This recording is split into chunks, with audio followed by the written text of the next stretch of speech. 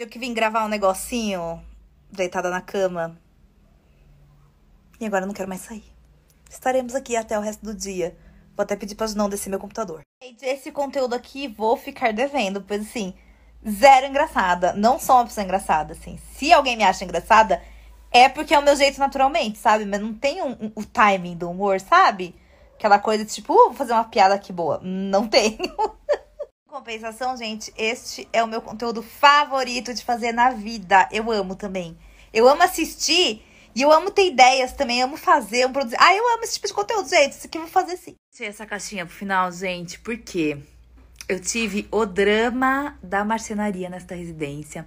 Eu até parei de gravar os vlogs de tão nervosa que eu fiquei, gente. Tão nervosa que eu fiquei, assim.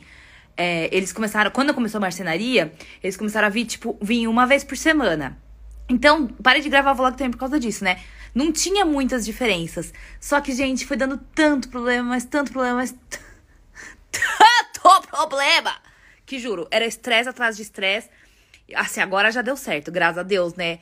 Mas assim, olha que nervoso. Ai, tem umas marceneiras que eu amo, amo, que são as Lumberjills. Elas não pegaram meu projeto aqui de cima porque a Let's tá grávida. Mas, quando eu for fazer, quando juntar dinheiro de novo e for fazer o closet aqui, eu vou fazer com elas, porque elas são maravilhosas. Elas fizeram meu espelho, que fica de pele no quarto, que vocês sempre perguntam. Elas fazem, assim, eu nunca fiz um projeto grande com elas, mas o que elas fizeram para mim, eu amo tudo, tudo, tudo. Só que elas não puderam pegar meu projeto. Voltei pra roupa, gente. Voltei pra roupa, porque se eu ficar de pijama, não trabalho nunca mais. É isso. Deixa eu fazer uma retratação aqui, que não sei se ficou claro, né? Mas é, o pessoal da obra foi ótimo, incrível. O cara que fez nossos pisos do banheiro, impecável, impecável. O eletricista, impecável. O pessoal da Dutra foi assim, maravilhoso. Maravilhoso mesmo. Assim, a obra foi rápida, limpa. Foi maravilhoso, parte de obra. O cara do gesso, do, do pintor, todo mundo que fez obra foi assim, maravilhoso. Recomendo, inclusive, a minha irmã vai fazer obra, recomendei para ela também. Então, assim, eu tive probleminhas com a marcenaria mesmo. Mas o importante é que no final deu tudo certo, né, gente? Com o troquinho aqui, troquei ali, refez uma coisa aqui, refez outra coisa ali. No final deu tudo certo. Estou aqui me preparando para gravar o vlog, porque como a gente já tá usando tudo aqui em cima, já tá bagunçado. a gente tem um dom, gente, é um dom de bagunçar as coisas que eu não sei o que acontece com a gente. Cenário lindo. Aí você vira pro lado, pã! Olha isso, esse tipo de baguncinha, gente. Bom dia, gente linda! Me ajuda com nomes aqui, pessoas das modas. Eu usei isso aqui, ó, que ele é tipo um cachecol, só que ele tem mangas para ficar presa. E eu não sei o nome dessa peça, mas fica tipo um cachecol no corpo, assim, porque você põe a manga, aí ele meio que cai assim, ó. Só que eu não sei o nome disso aqui, quando é um cachecol com mangas. Eu vou chamar de cachecol com mangas, eu acho.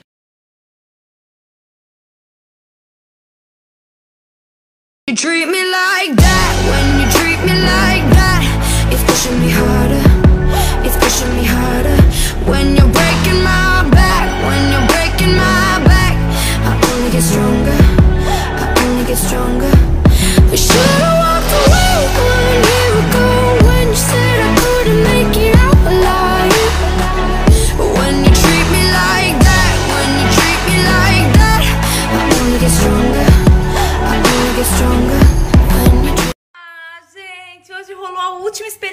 líder com Downy.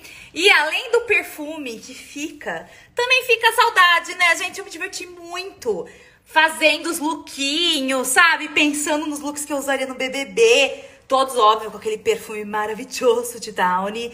Então, gente, fica aqui as saudades, não é mesmo? Mas, quem quiser levar o perfume Downy pra casa com descontos temos um link aqui, olha só. Essa última oportunidade não vai passar em vão, gente. Que a experiência do líder acabou lá na casa, mas na nossa casa ela pode ficar para sempre.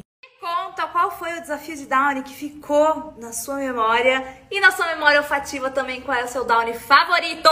Eu que sou geminiana, obviamente não consegui escolher, então fiz mais um Reels de lookinhos inspirados em Downy. Me conta lá qual é o seu favorito e se você gostou dos lookinhos.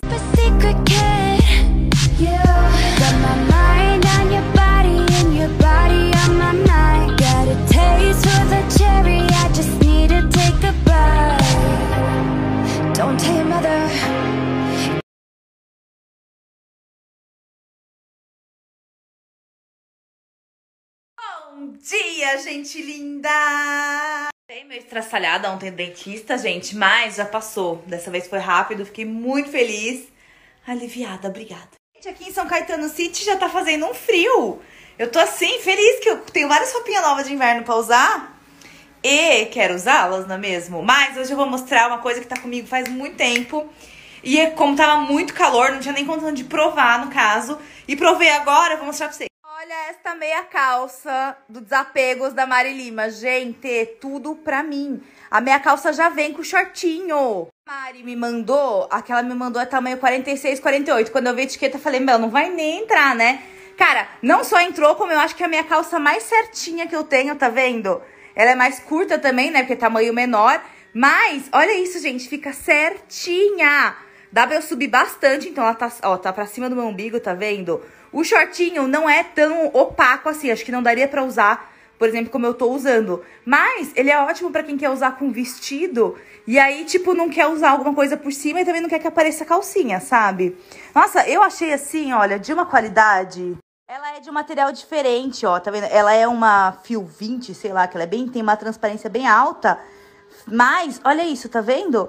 Você puxa, ela não faz nem menção de desfiar, tá vendo? Um material realmente muito bom, gente. Eu achei, assim, lindíssima. Sério, eu tô encantada. Encantada, Mari. Arrasou, amiga.